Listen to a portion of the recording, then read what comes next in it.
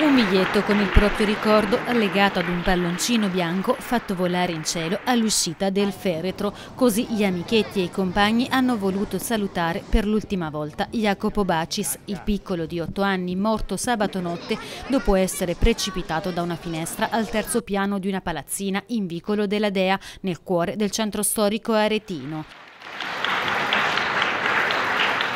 I funerali del bimbo sono stati celebrati questa mattina in cattedrale in forma strettamente privata. Al dolore dei genitori e della famiglia si sono così stretti pochi intimi, sul sagrato dell'uomo invece tutti i piccoli amici del bimbo.